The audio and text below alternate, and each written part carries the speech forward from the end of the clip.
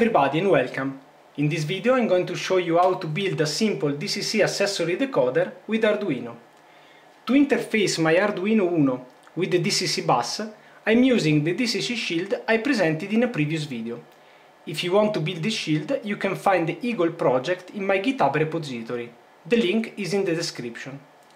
I connected two digital pins of the Arduino with two LEDs on a small breadboard. My DCC command station is an SPROG2.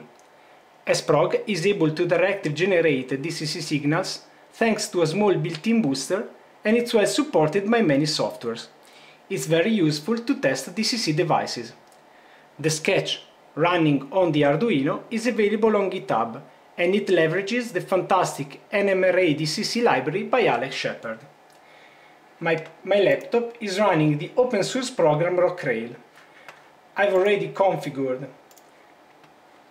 the correct interface to talk with the SPROG and on the track plan I added a signal with the address of my decoder.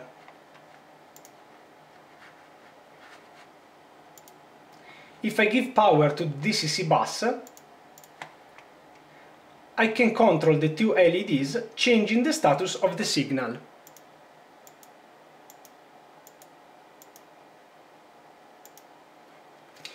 I may use the same decoder to control a turnout.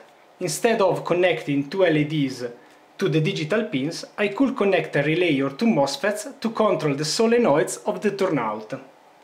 In Rocrail, I can add a turnout switch with the correct address and, as you can see, it can control the LEDs as well. Thanks for watching.